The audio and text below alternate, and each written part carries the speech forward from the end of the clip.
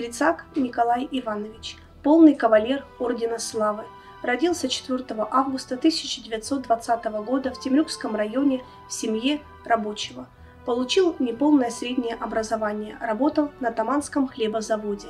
В 1940 году призван в ряды Красной Армии – на фронте Великую Отечественную войну с января 1942 года.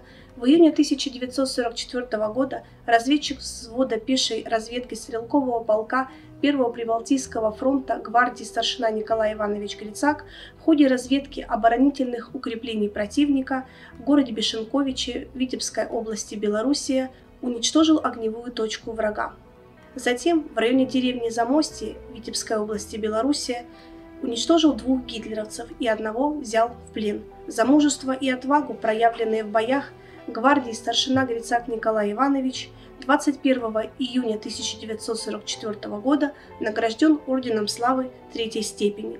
17 сентября 1944 года у деревни Прусина Могилевской области Беларуси во время отражения контратак противника Вместе с разведчиками уничтожил свыше 10 солдат, захватил мотоцикл и двух фашистов, сообщивших ценные сведения.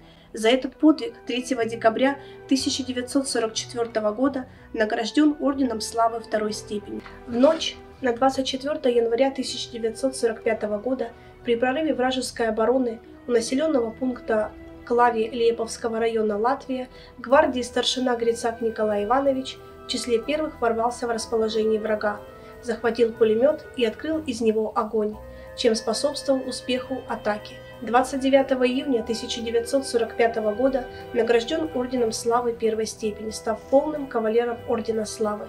Во время войны был четыре раза ранен. В 1945 году демобилизировался, жил в городе Герой Керчь, работал продавцом продовольственного магазина. Умер 20 апреля 1996 года, похоронен в городе Керчь.